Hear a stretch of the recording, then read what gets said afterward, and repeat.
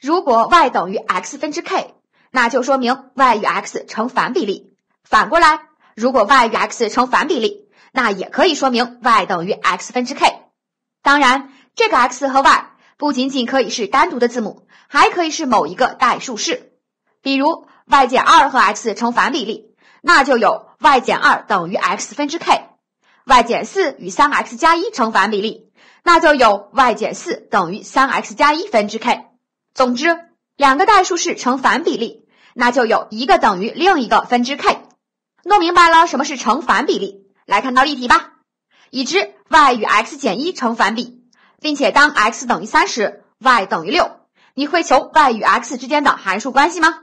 刚才说过，y 与 x 减一成反比，那就有 y 等于 x 减一分之 k。又因为 x 等于三时，y 等于六，把三和六带到这个表达式中。可以算出 k 等于十二，把 k 再带回表达式里，可得 y 等于 x 减一分之十二，这就是 y 与 x 的关系式了。以后再遇到这种让你求解析式的题型，你就先根据成反比例用 k 写出解析式，然后把已知点代入，求出 k 就行。刚才只研究一个函数，接下来再来研究两个函数叠加的问题。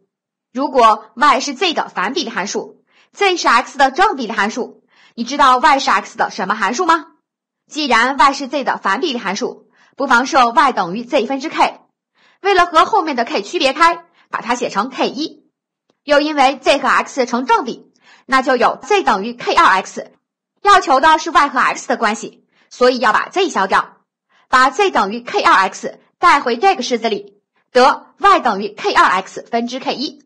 因为 x 在分母上，所以 y 和 x 就成反比例了。以后再做这种题型，你就根据比例关系，利用 k 设出解析式再来求。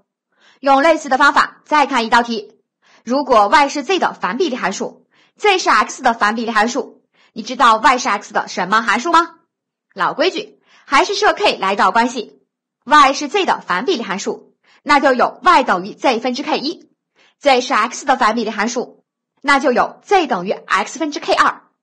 接着把 z 带回这个式子里，化简一下，可得 y 等于 k 二分之 k 一 x，x 在分子上，所以 y 是 x 的正比例函数。再回过头来看这两道题，反比和正比叠加就是反比，反比和反比叠加就是正比。其实理解起来也不难，只反一次那还是反，反两次就变成正了。好了，关于成反比例就讲到这里，简单的说。两个代数式成反比例，那就有一个等于另一个分之 k。